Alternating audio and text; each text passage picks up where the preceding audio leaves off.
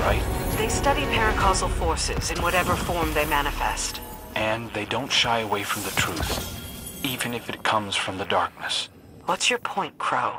Savathun knows the truth about the